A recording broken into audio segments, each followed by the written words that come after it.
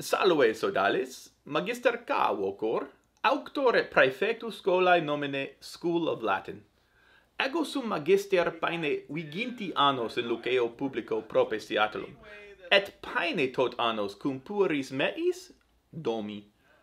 Inter eos annos, plusquam centum carmina pedagogica et colloquia ducta ad usum discipulorum meorum scripsi, quae ad familias domi docentes iam maximo cum gaudio ofero.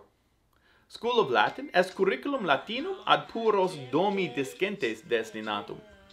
Duos gradus habet. Scola inferior ad puros praecipue grammaticam discentes destinata, et scola superior destinata ad puros qui legera, scribera et loqui latine discunt omnes lectiones scriptae et ductae sunt. Mm. Itaque discipuli semper eh. ad cursum suum progrediuntur. Curriculum igitur eh. praestans est ad usum discipulorum domi docentium.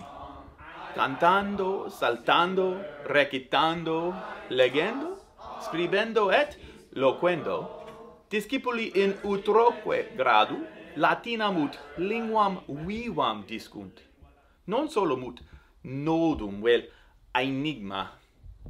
Ad finem curriculi discipuli veram dominationem non solum sensum obscurum linguae habent.